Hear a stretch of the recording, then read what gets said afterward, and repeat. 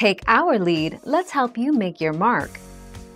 Our goal is your satisfaction. Let us show you the way. Dividing number of shares Divide the number of shares you own by the second number in the ratio.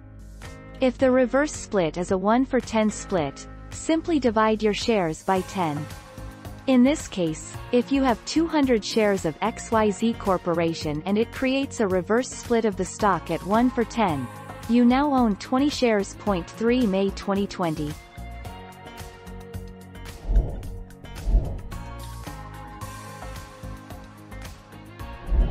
Let's help you make your mark.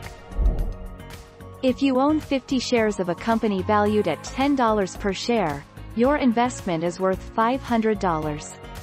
In a 1 for 5 reverse stock split, you would instead own 10 shares, divide the number of your shares by 5, and the share price would increase to $50 per share. Multiply the share price by 5.15 October 2020.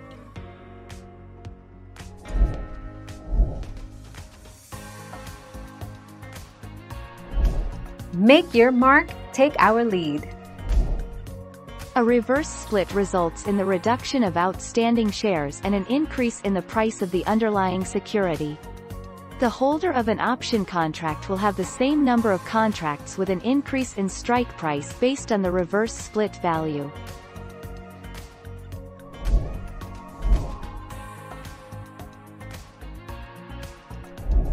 Make your mark, take our lead. For example, in a 1 to 4 reverse split, the company would provide one new share for every four old shares. So if you owned 100 shares of a $10 stock and the company announced a 1 to 4 reverse split, you would own 25 shares trading at $40 per share. 30 December 2020. Thank you for watching. Please subscribe and hit the bell notification.